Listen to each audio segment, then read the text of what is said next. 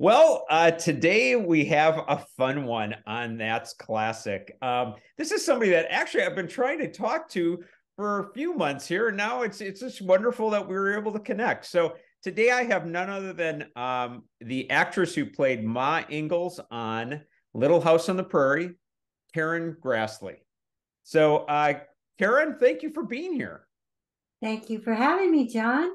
Yeah, it's a real pleasure to have you on, and uh, I, uh, you know, I'm a big fan of Little House, and I, I know a lot of a lot of the uh, listeners are as well. So it's it's great to have you on the show. Um, so right out of the gates, I was curious, what are some of your uh, like either funniest or fondest memories looking back at like what was it nine seasons of Little House?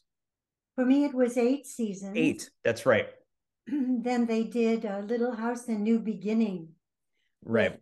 Laura and Almanzo as the main couple. So, um, one of my uh, fun memories of uh, Melissa Gilbert was the first time I met her. Uh, this was in, in the mountains in Sonora, here in Northern California. Yeah. And uh, was our very first day we were going to shoot. And um, here came this little girl in her calico dress and her big jacket and her little braids because we were all dressed and ready. And uh, she said, Do you have your tears ready? and I was just speechless at first. I was like, Oh my God, who is this kid?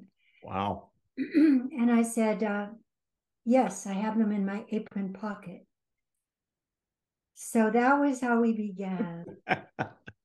and what um how quickly did you form a you know uh you know some kind of a bond with Melissa, you know, outside of just the character? We formed a bond, all of us, uh, uh, the girls and I, on the pilot, because we were very isolated there. We were only working in location. We were all away from home. We were all doing something we had never done before. They, of course, were little little actresses, so mm-hmm. uh, they had done a commercial or something like that, or mm, a small bit in a movie of the week. But um, for me, I had never done a prime time television movie, so we were all new to everything and we very much relied on each other. And it was kind of lovely because the crew was new to us, we were new to them. Michael was a wonderful leader. He was everywhere at once, on top of everything, knew exactly what he was going for, loved his crew, because he knew most of them already. Mm, interesting.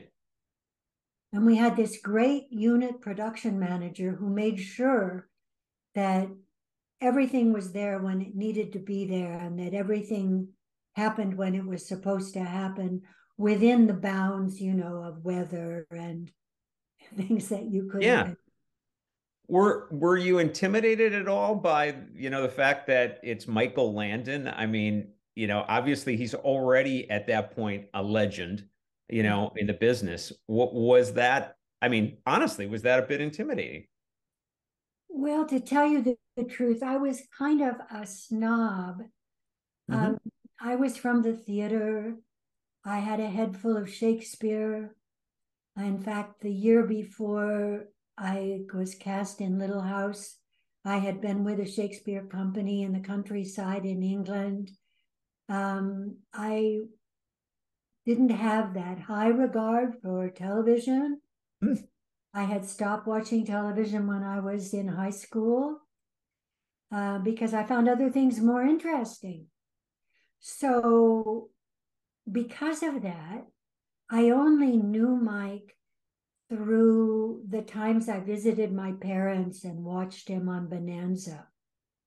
Wow. And of course, I mean, he was so good looking. I mean, everybody had a crush on Michael, but mm, but I was I was in a different world. Uh-huh. Yeah. yeah. Yeah. In fact, I when I first read the script, I didn't want to take the part.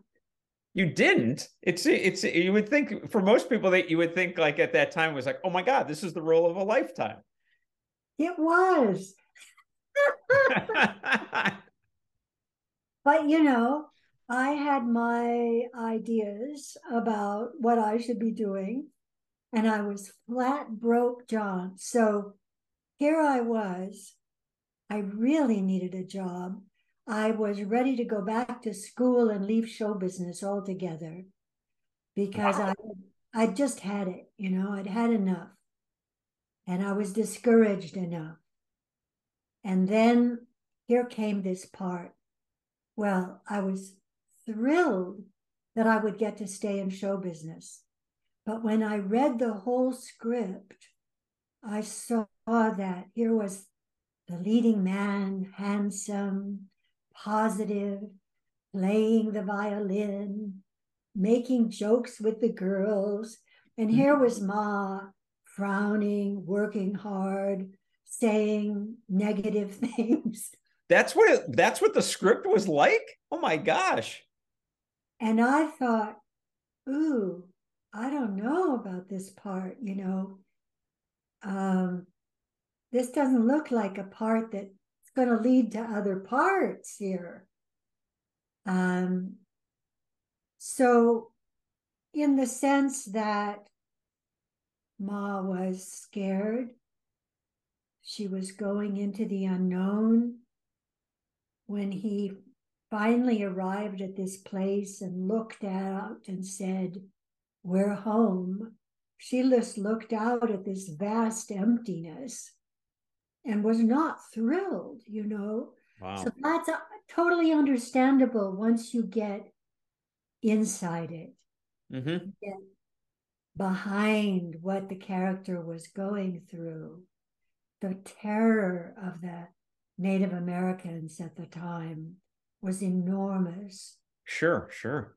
So when I got into what this was really like for her, then my whole approach changed.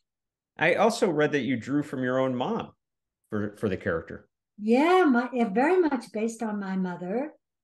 My mother was born in Oklahoma. Mm-hmm.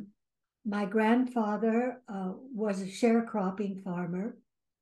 They moved to Idaho when my mother was just a toddler, like Carrie mm-hmm. in Little House. Mm-hmm. She went barefoot to school. She went to school on horseback. Um, they knew a kind of poverty that was beyond anything I could imagine. So my mother grew up with all these hardships, and yet she had found a way to get an education, become a school teacher, and eventually become a businesswoman. Amazing. So, yeah, I had great regard uh, for her accomplishments. And she was tough, you know, and she was strict. And she was also very, very supportive of seeing that we got an education and that we were going to get ahead, that we weren't going to be stuck. That's it. That's interesting. I mean, between drawing on on on her background, obviously with with the poverty and in Idaho, and then on top of it, I, I also had read that you were as a child you sang in a Baptist choir, which also I could see lending to that whole you know experience. Yeah, yeah, I was very much of um of a Christian uh, during my growing up years. Mm-hmm. Um, my neighbors had taken me to Sunday school with them. And um, it was a Baptist church. And I just thought it was great. I mean, all that Bible stories and songs and memorize a Bible verse. I just thought this was great. And the teachers all liked me because I thought it was great. And um, my parents were not enthusiastic at all. they had been through the whole born again thing and they didn't have any truck with it. Mm-hmm. But I was saved. And uh, the poor things, I would come home and try to save them, you know.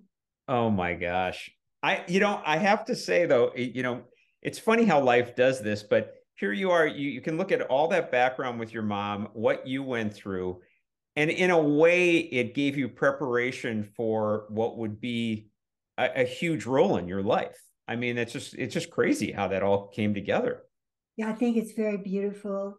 We don't know so many times what we're doing mm-hmm. and how it's going to unfold and be of use in mm-hmm.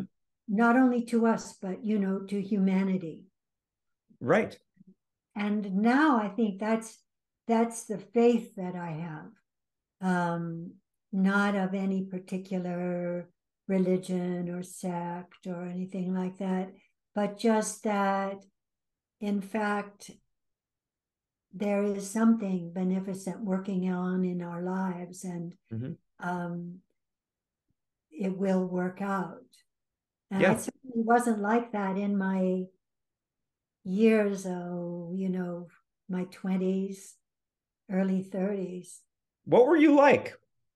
Depressed, serious, very serious artist. Hmm. Um, very uh, argumentative. I like to argue with people about subjects. Oh my gosh. And you're, you're and, and I look at you now and you're very calming presence. It's it's very, very interesting there.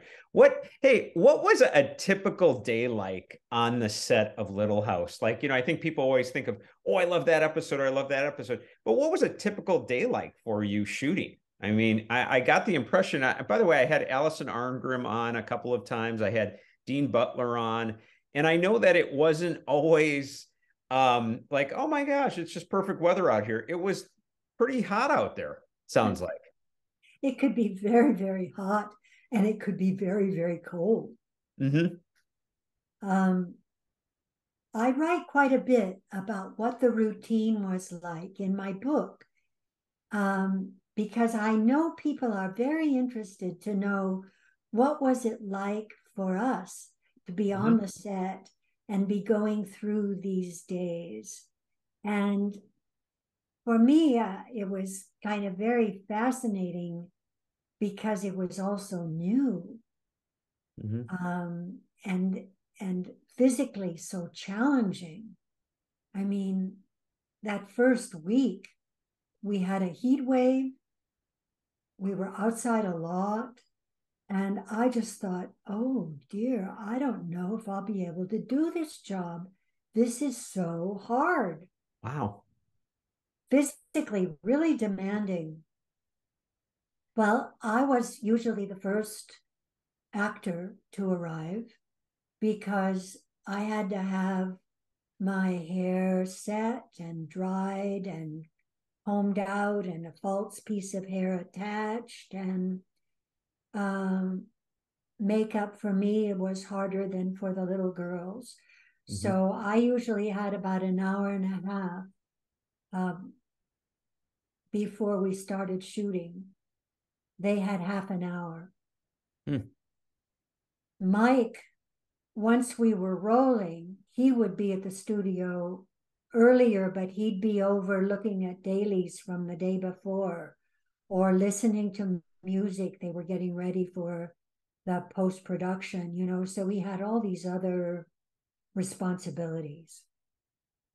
And we would go 8 a.m. onto the set and do a rehearsal. Mike or the director would say, you're here, you're there, you're there. This is how we do it. Then you're going to go there and do that and blah, blah. And we go through that. Maybe we'd go through it again. Then we'd go off. The kids to school and me for them to go powder, powder, fix hair, or sit in my director's chair and read variety. Mm-hmm. And then be called in for camera rehearsal. And then we'd have that rehearsal, and then they'd make corrections for lighting and whatever details needed to be corrected. And then we would shoot it, and that's a print. And usually we didn't have very many takes. Hmm. Um, Is that Mike? Was that Michael Landon style more like one or two takes and let's move on? uh, mm, I would say we were well prepared and his system of work was clear. And so, unless we had a problem uh, with a line or a light or the camera moving and jerking or a plane flying over, you know, Mm-hmm. um, we were we were pretty swift, and that was one of the reasons that people liked working on the crew of Little House Hmm. was because we moved along. We averaged about seven pages a day. Wow, wow. For a show like that, that is fantastic. It Yeah. was when you consider the quality they were going for. Mm-hmm. Yeah, I would I would agree. Did um where is there an episode or two that stands out for you that you you kind of uh, always felt uh close you know to? Uh, sure, sure. Um, of course, the pilot is my favorite. Mm-hmm. Um, and then after that, uh, it was a thrill for me when they wrote School Mom, and I got to leave the kitchen and go out and have a job and have some independence and carry a show. And that was a thrill, um, especially because uh, Dirk Blocker, who was Dan Blocker's son, Wow. played the student that I become involved with in terms of trying to help him with his um, study problem. Yeah. Interesting. I for I didn't I didn't uh, I I actually never put that tie in together. That's interesting. Yeah, it was a very emotional thing for us on the set because, you know, Michael uh, was very, very close with Dan. Yeah. The crew who'd been with Mike a long time, a lot of them were on that show Um Bonanza. Bonanza with those guys Mhm. and had a bond like a team, you know. Mm-hmm. And when he was talking to me about bringing Dirk on to do this part, he told me about when Dan died and he was crying.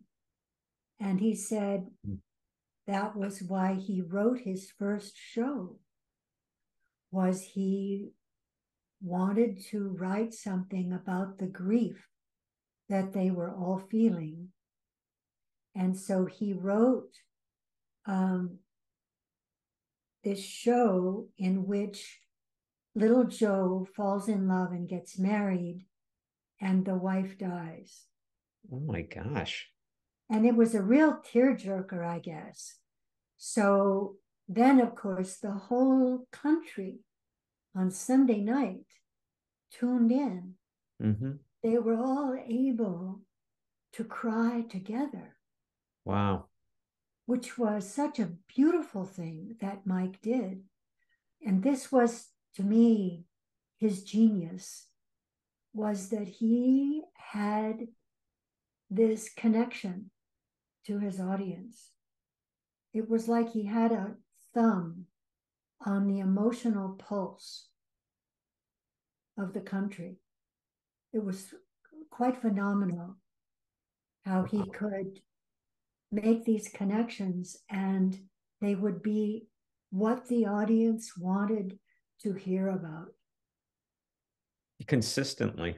Yeah. He was so consistent. What um and I've it, look, it it it's no great uh, you know, secret out there that you had a a let's say an in, interesting relationship with Michael Landon because it sounds like like you you worked well together, but then there's the the whole um uh what was it the pay increase situation that unfortunately it's kind of like that that's always in the air when it comes to little house like that there was an issue there with you and some of the other actors about being paid um you know what you felt you should get paid. Did what what, what was your relationship like with him? Our first year was uh, fantastic. You know it was just great. Um he was so happy with my work and I had so much regard for him as a director. And we frequently rewrote things together. It was very creative. You did rewrite things together, huh? Because I, I I'd heard he was very, you know, much about like wrote it, shot it, you know, kind of thing. But there was that involvement. Wow. Well, you know, we had a lot of hours where the children were gone home and we were still working.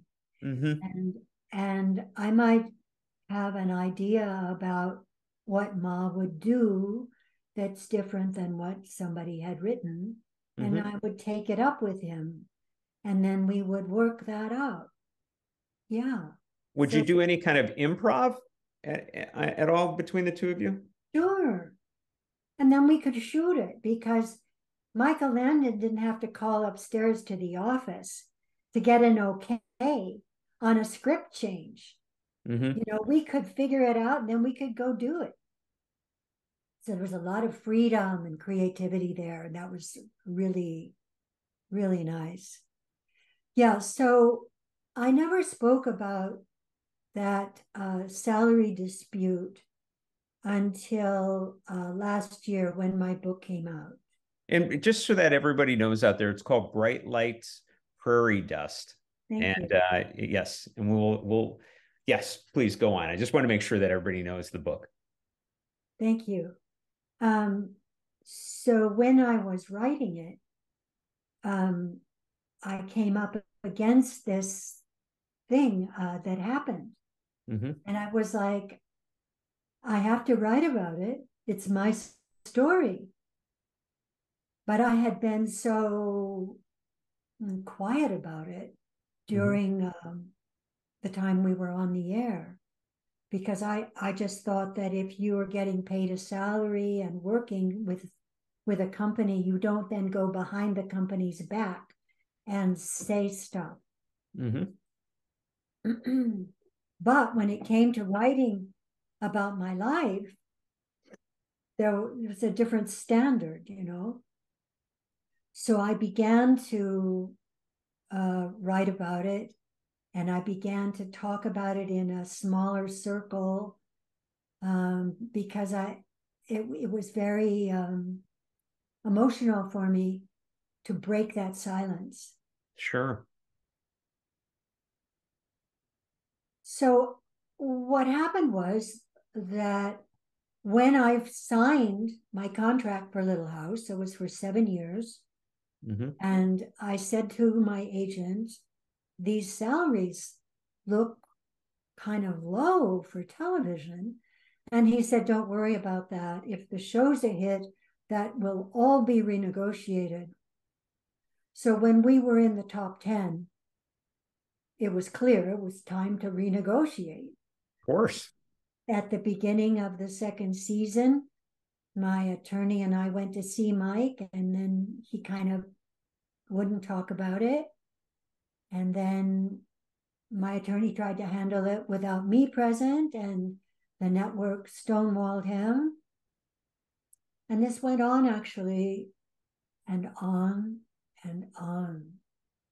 And my part started getting cut, and my shots started getting cut. Oh my gosh. Oh yeah. And then um, I was made fun of on the set. But, but wait, by Michael or by just yeah, by, by Mike. Yeah, this was all coming from him. Oh my gosh. Yeah, so it was so painful hmm. because mm. I had to go to work. I had to show up and do my best, but the atmosphere was so hard for me. Boy, you didn't you did not show that on screen at all. I mean, I mm. I I never noticed a change at all. So that shows, I mean, that shows the professionalism you have. That's that's just uh, really really something. So would it would it be like a turn on, turn off? Like you would do the scene with them, and then sometimes you would like become a different person, basically during that time. I would become a different person. No, he would. He would become kind of a different type of personality. You know, he'd be on screen with you. He'd be, you know, playing Oh, yeah, playing his yeah. character, but then cameras off, he would. Yeah, Wow.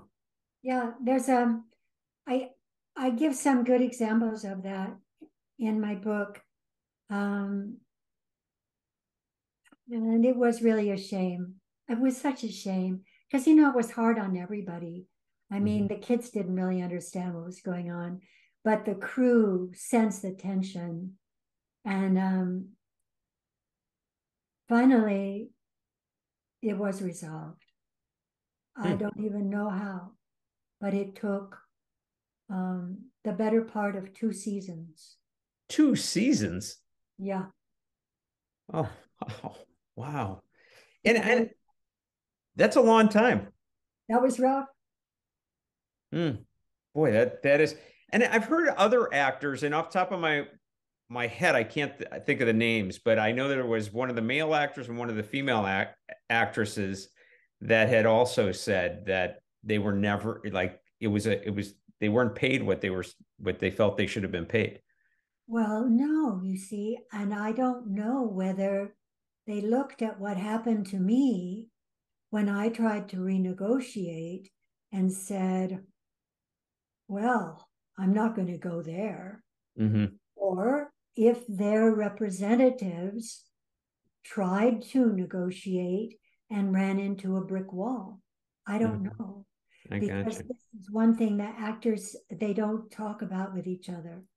Yeah, I I understand. I could see how that would be. Well, let's let's talk a little bit about uh, some of the guest stars that you had uh, that were on the show. I mean, the the famous one out of the gates for me because I happen to be a big fan is uh, Johnny Cash and June June Carter Cash. I mean, I still love Johnny, but um, what was it like? Which, by I believe, I also read that you were a big fan. Um, what was it like to have somebody like that on the show? Uh, I mean, to be quite frank with you, I would have been in a little bit of awe.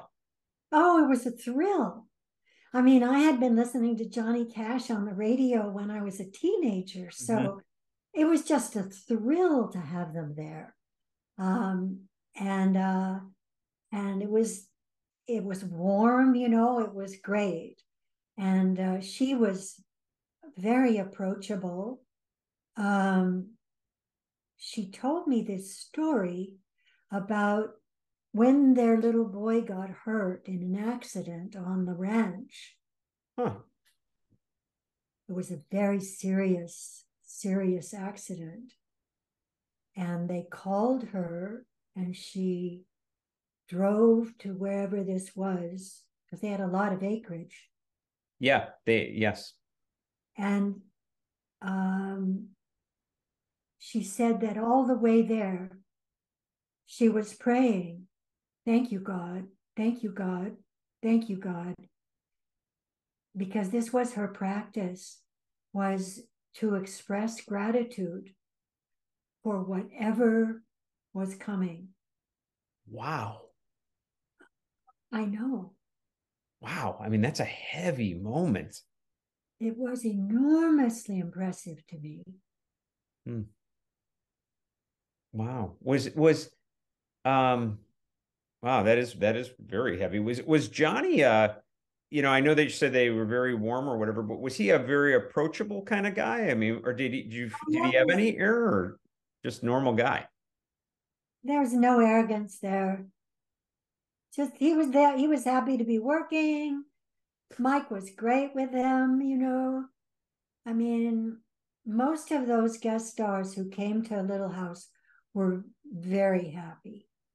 What do you remember any others that that were on that you kind of like it was like, oh, how awesome is it that they're on the on the set now? Patricia Neal, Oh, she great. had an Academy Award when I was a young actress. So I was I just thought her work was magical. Um, so that was um, quite an experience. Did you get to talk with her a little bit?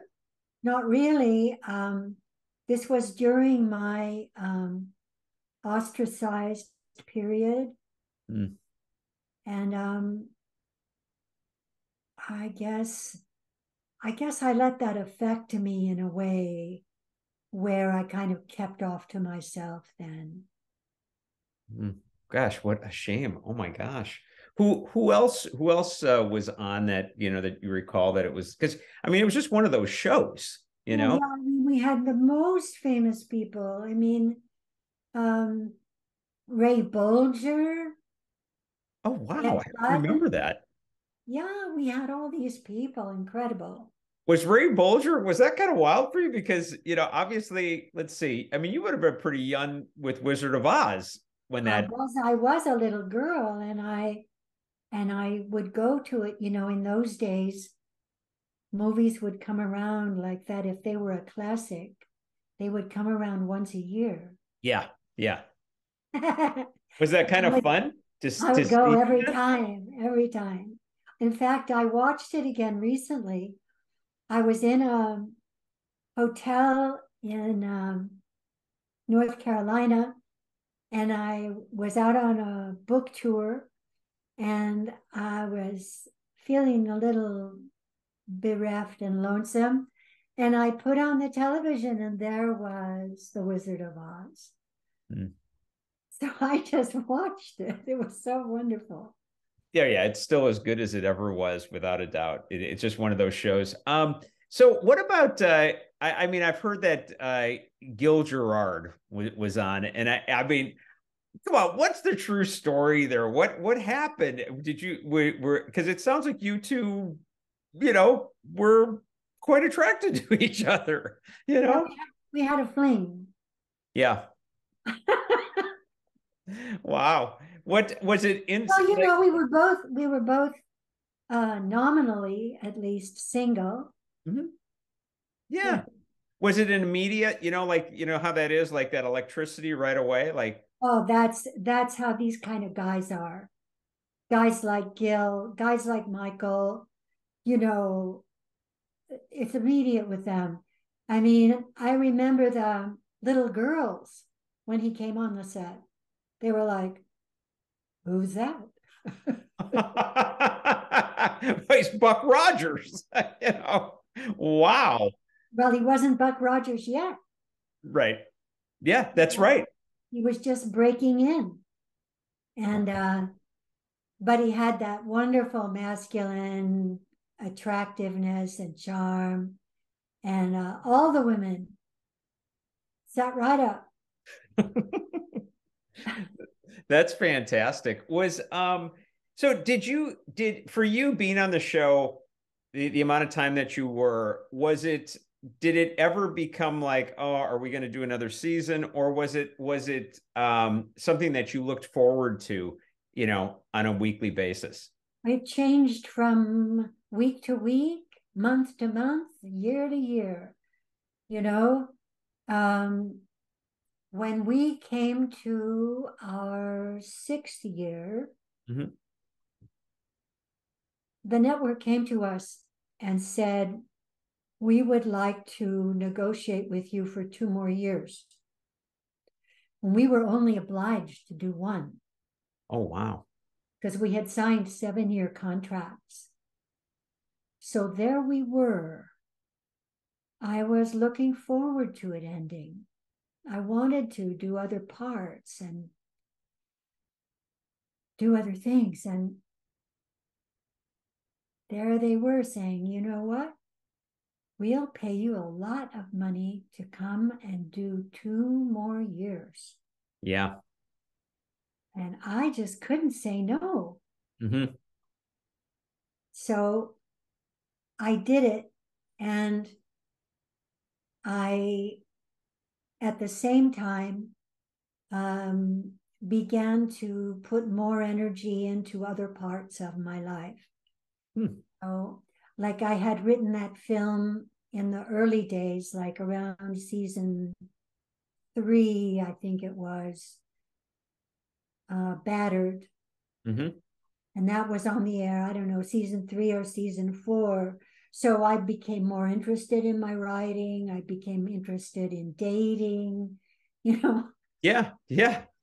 Yeah, more going on. You you you you know it's so funny because you are so identified with Little House, but you have so many um you know so many different areas that you've been involved in. I I saw um you know that you were in Wyatt Earp with um uh Kevin Costner and Gene Hackman. I mean, which by the way, I've always loved that film. Um what was that like to work with uh with both of them really? I mean, wow. I have to say just Wow. I mean, they they are big stars. Right. Big stars. And there's a reason. I mean, not that that just because somebody isn't a big star doesn't mean that they don't have a big talent. Mm-hmm. Because everything, you know, all the stars have to come into alignment. But I was so impressed with Kevin Costner, first of all, because you could see that he wasn't just the leading man, he was uh, also producer. His eye was on everything the same way that Mike's eye would be on everything. Mm. He was so tuned in to the whole production so very smart, you know. And I think one of the things that people sometimes, well, certainly bef- before I went to Hollywood, I didn't know the people in Hollywood were so smart. Mm-hmm. I mean, the people creating this stuff can be just brilliant. Mm-hmm. And the effort it takes to bring all of those elements together and create a whole, it sometimes looks so challenging that you wonder how anything ever gets completed in a good way. Yeah, no, uh, agreed. Know? Did by the way, you made me think. Um, you know, I did a lot of research and I was lo- looking at different aspects.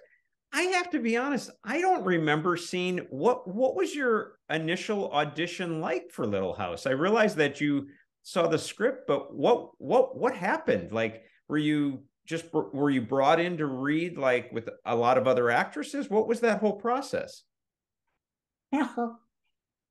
I tell you, it was really bizarre.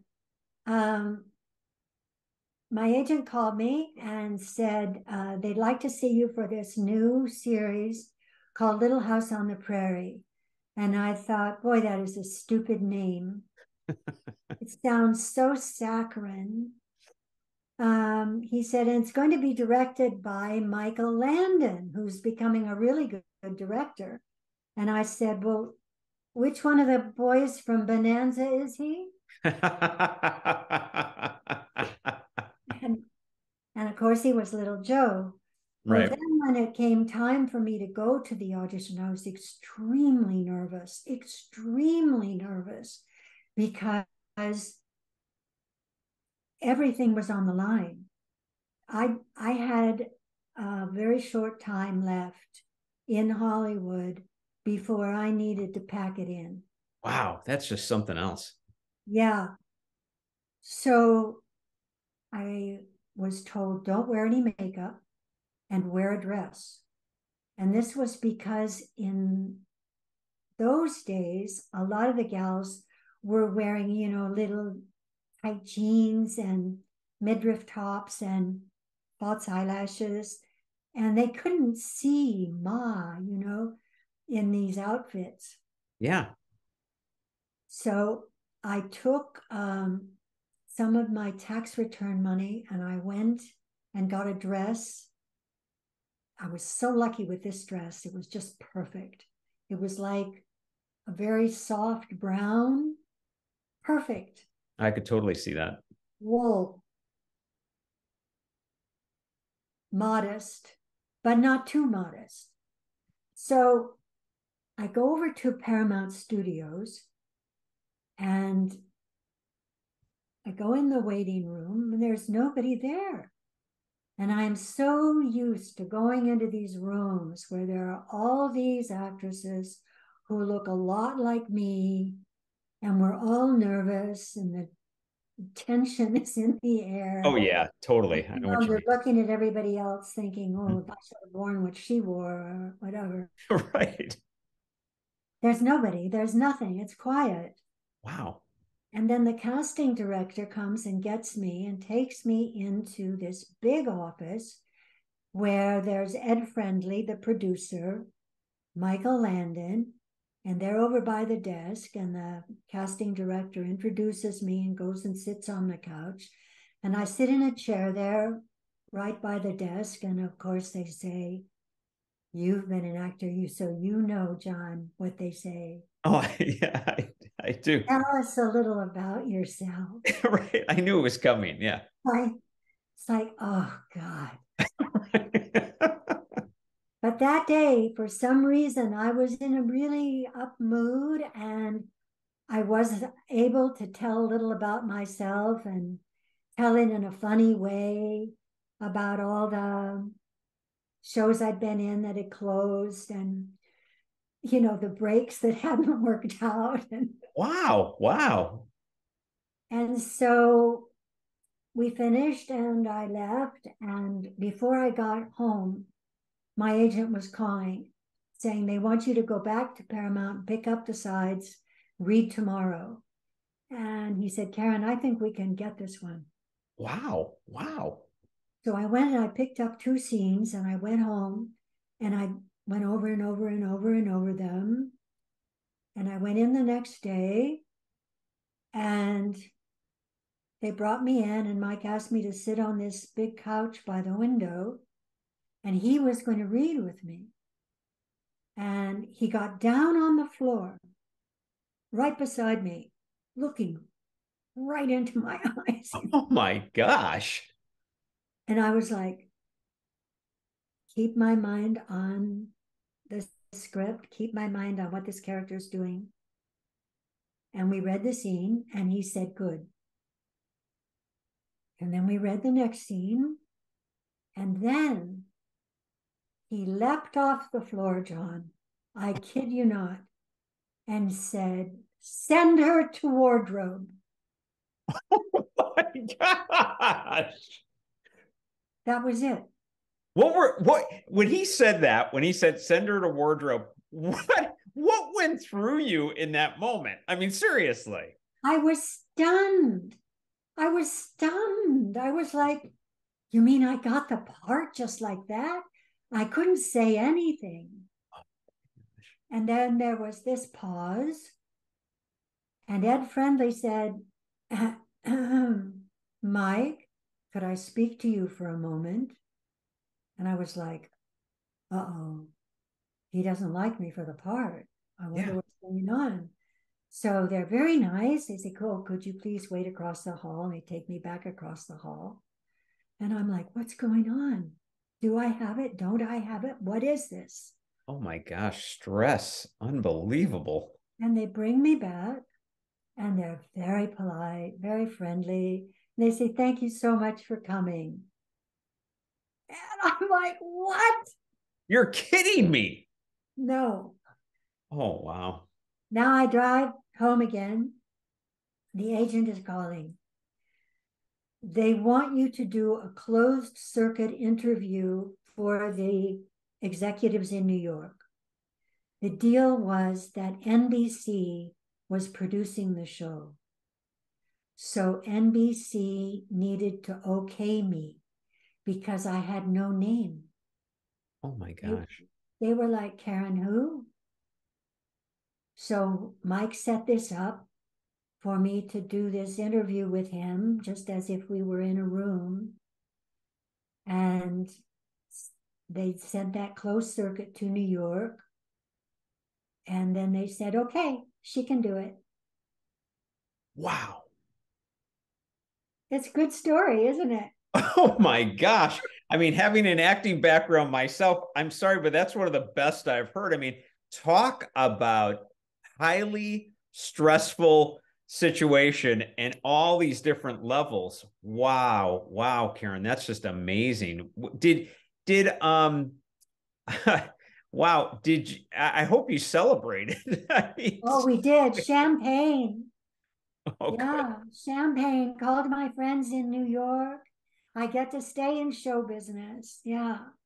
And how from that day when he when you did the closed circuit, how soon after were you on the set of Little House? Um 11 days. Okay, that's pretty fast. And that's pretty accurate, by the way, to 11 days. My gosh, I'm impressed. Um, there's one other thing I wanted to clear up, and then I, I did want to ask you about uh, uh, Broadway as well. But uh, Michael Landon, I just wanted to know. I've heard mixed things. I've heard that he did he did drink, and then I've heard other other comments as I've read that he drank. He wasn't necessarily an alcoholic. What what was your take on that? Because I had heard he would have like a little something each day kind of thing. Well, I am an alcoholic. I'm sober. Mm-hmm. And um for a long time, by the way, too, right? Yeah, very long time. I got sober on Little House. Oh wow. wow. Yeah. What yeah. season? Which season? Three. Oh wow. Wow. By the way, congratulations, because that's nothing to take uh, lightly any day of the year. Thank you. Well, it's a great gift. Mm-hmm. So I don't uh, say this person is an alcoholic or that person is an alcoholic. Okay. I've been taught um, that people have to diagnose themselves as alcoholics. Um, but my experience of growing up with a father who was an alcoholic mm-hmm. and working with uh, people who uh, drank um, was that Mike drank. Okay, I gotcha. Was it a, was it like the daily, you know, everybody, especially during that time, by the way, I should say too, in a society, a lot of times, you know, I have a drink each day kind of thing. Was that no, his... no, no, no. We're talking vodka for breakfast. Okay. Yeah, that's a little different. You know, you know what is astounding to me is how someone because not to say that your your role was not demanding, but when you look at Michael Landon, you say you're starring, producing, directing, writing, and you're drinking. It's like it's like how do you keep that energy level up and that level of creativity? I mean, it's honestly that's a bit of a miracle in itself. It is really. It is and he didn't eat right. Oh, jeez. Yeah. So um, I think it was a kind of uh, manic uh, energy, you know. Um, there's something about when you're in a kind of manic state, you know, and your hearing is very sharp and your mind works very quickly. And um, I think that he was in a creative state like that a lot of the time. Oh my gosh. And you you were able to in the end uh kind of have your um I don't know, for lack of a better term, like resolution with him right at the end of his life, right? Uh, before before he was diagnosed, thank God, I had written to him. I was living in New Mexico, and I wrote to him to just sort of caught him up on what was going on in my life and said, um, you know, how lucky I had been to be part of that show. And he wrote back right away and said a little note um, give me a call be, so we can talk about the old days before we both forget them. Oh my gosh, was that? I mean, whoa, that's bizarre. I mean, it's wonderful, but it's just the timing of it. Yeah. So then I called him and we had a really nice visit, one to one. It was nothing about past, it was nothing about grudges, who was right, who was wrong. It was just two adults who basically respected and liked each other. It was really nice. And so I was very, very grateful. Wow. Wow. Thank goodness you reached out. I mean, that's to say the least. Yeah. Um, to go in a totally different direction, you worked with Gloria Swanson on Broadway. Yeah. I mean, and I got to tell you something. I literally, and I haven't released the interview yet. So if somebody's out there listening, um, with Nancy Olson Livingston, who is the last surviving uh, cast member from Sunset Boulevard, oh, just right. spoke with her. Literally, just spoke with her. And then I found out that you were, as I knew we were doing the interview, I looked and I was like, oh my gosh, you worked with Gloria Swanson. Yeah.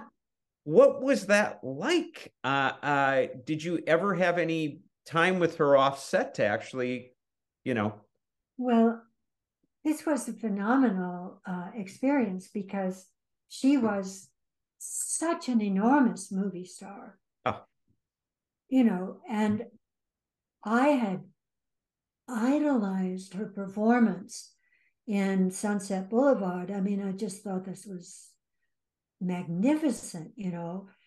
And now here she was, old, like my age now.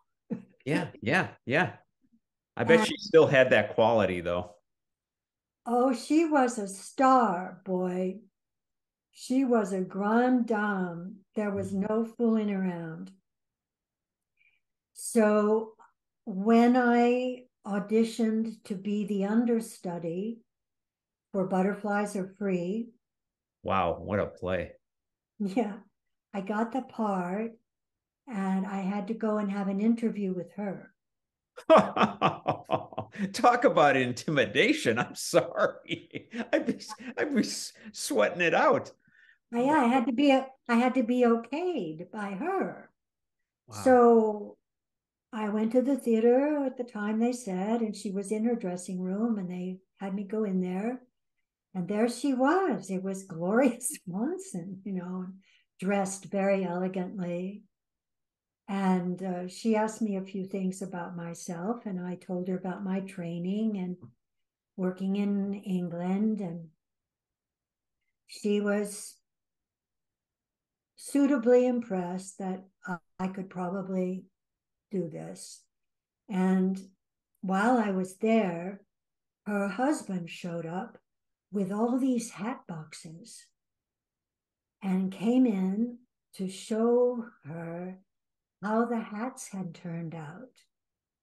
Oh my gosh. For me, this was such a lark, you know, the idea that she had these handmade hats that she was now going to try on and approve. And oh my God, I just, but at the same time, I was a little snot because I just thought she was terribly old fashioned in her acting. And, you know, I, w- I was like, I, and so she, I did do the performance quite a number of times. And she then would give me notes. She, wait, wait, she would give you notes? Gloria Swanson's giving you notes. Yeah. Oh, wow. Yeah, she would give me notes and I okay, but I I didn't really take them. Oh geez. oh jeez. oh my gosh. I mean, wow. Did you literally go, yeah, sure, sure. But they were probably good notes. That's what's funny. I don't know, but I had worked out, you know, what I was doing. Yeah. And the other thing was, you know, she was one of the first people to really eat health food and begin to educate people about poisons in our food. And in that part, I end the first act eating this apple. And then she makes her entrance. It's a big surprise. And after the curtain comes down, she comes over, she says, Don't eat that apple. It's covered in poison. Oh my gosh. Yeah. Wow. Wow. I guess she would talk about way ahead of your time. Jeez. Yeah. That's something. Well, on, a, on another note, because you've been so good, and I don't want to, I don't, I don't want to keep you, but I, I give everyone that's been on uh, the show at this point, I like one of two things. One, uh, my first thing is what charities are dear to you that you like, you know, you like people to know this means something to me. If you, you know, if you end up wanting to go look yourself, that's fine. But usually there's something like that. and also, you know, what you'd like to say to the fans. So first the charities and then the fans.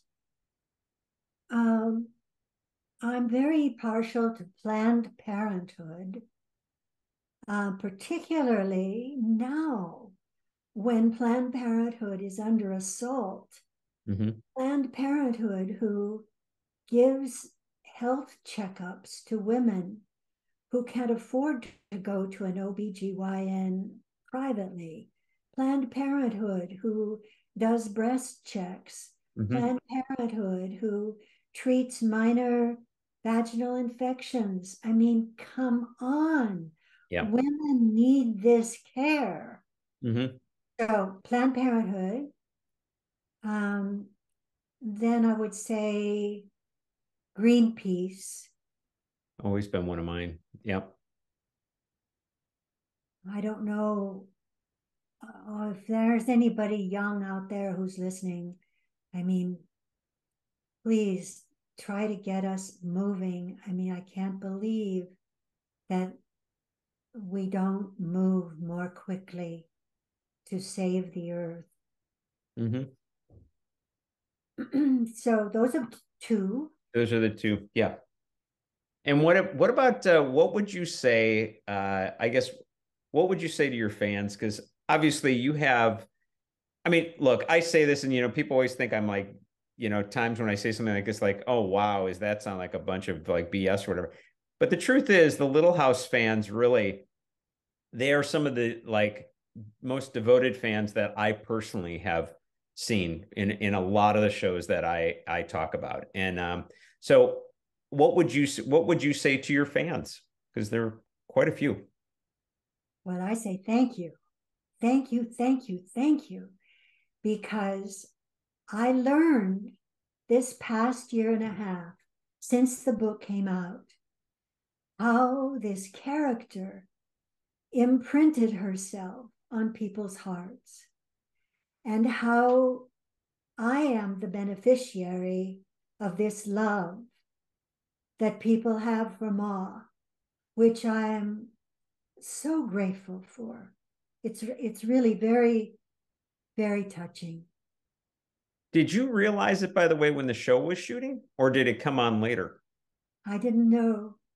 Wow. I knew I knew we were a big hit, but I didn't know until this last year and a half what Ma meant to people. I am so thrilled that my work was able to come across that way. Wow, that's pretty amazing. And just so that everybody knows as we as we kind of end this, where can they get your book? And and also if you have any personal appearances that might be coming up, anything like that. Right. I don't have anything right now that's coming up.